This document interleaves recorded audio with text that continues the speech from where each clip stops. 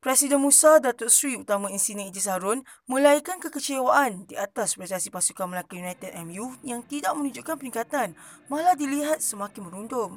Menurutnya beliau tidak mahu MU menjadi pasukan belasahan dan memberi gambaran kepada pasukan lawan bahawa MU boleh dikalahkan dengan mudah.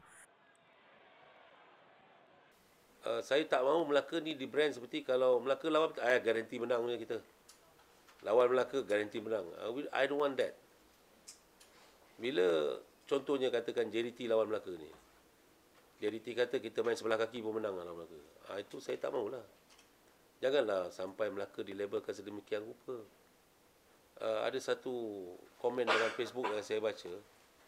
Sebuah pasukan yang dihormati disebabkan transformasi yang mendadak selama 3 tahun. Daripada uh, rock bottom kepada Johan juara Piala Liga FM, juara Piala Liga Perdana tiba-tiba pada tahun ini merudum dek kerana kelemahan pengurusan dan kejurulatihan. Jadi ini saya tak boleh terima. Dan saya, saya tak mahu ada pembaziran. Dan saya amat jelas bila saya meletakkan satu pelaburan yang tinggi untuk sukan ini, ia adalah untuk kebaikan kita bersama.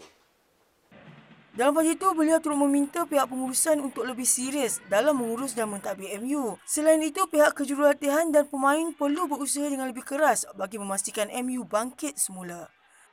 Jadi semua pihak lebih baik serius dalam uh, mengurus dan mentadbir pasukan bola ini.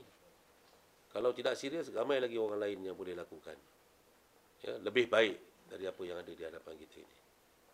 Jadi I wish everyone to back up and make sure Melaka will play better games next time. Kalau tidak ada pemain yang digugurkan, maknanya pemain itu berprestasi dengan baik. Tapi sudah ada, sudah pasti ada pihak yang mesti bertanggungjawab. Jadi kalau tidak ada pemain digugurkan, saya nampak pengurusan yang akan digugurkan. Dan uh, saya akan lakukan jika saya terpaksa melakukannya. Beliau berkata demikian majlis media selepas mempengurusikan majlis mesyuarat kerajaan negeri di Sri Negeri hari ini.